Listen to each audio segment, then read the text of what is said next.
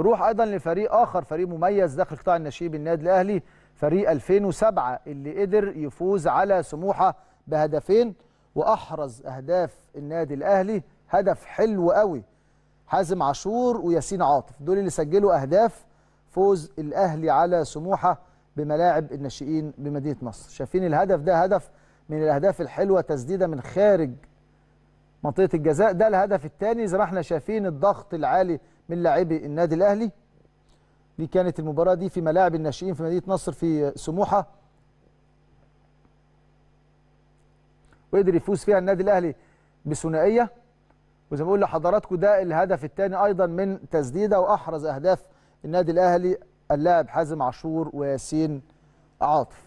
بنبارك أيضا لفريق 2007